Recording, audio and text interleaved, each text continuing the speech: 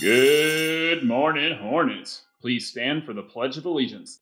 I pledge allegiance to the flag of the United States of America and to the republic for which it stands, one nation, under God, indivisible, with liberty and justice for all. And now for the Texas Pledge. Honor the Texas flag. I pledge allegiance to thee, Texas, one state, under God, one and indivisible. You may be seated. Now, for one minute of silence in which you may reflect, pray, meditate, or engage in any other silent activity that is not likely to interfere with or distract another student.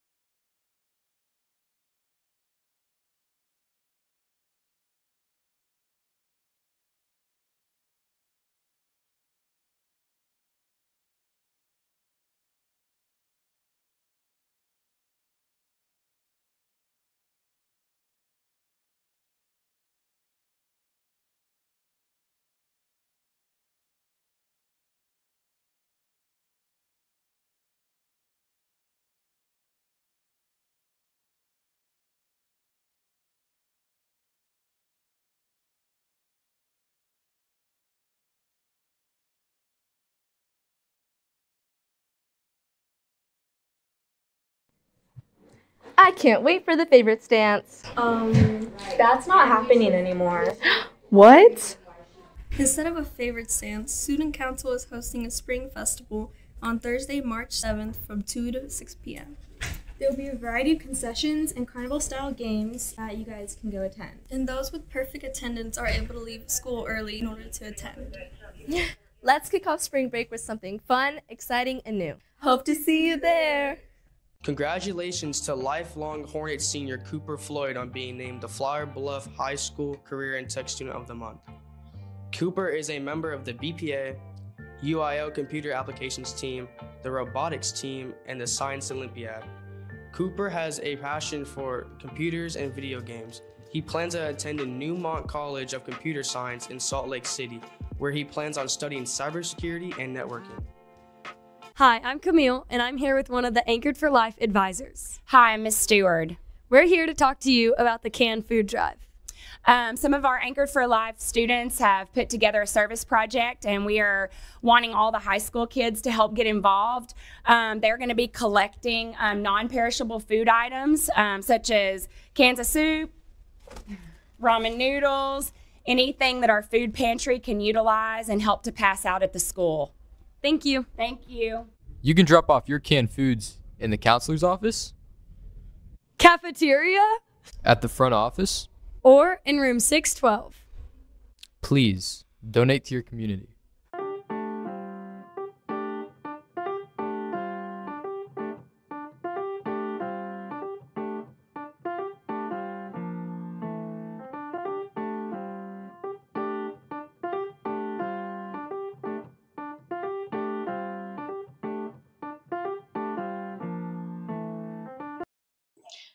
Good morning, Hornets. My name is Scotty. And I'm Allison. Thanks for tuning in to this edition of the Hornets Nest News. Today is Monday, February 26th.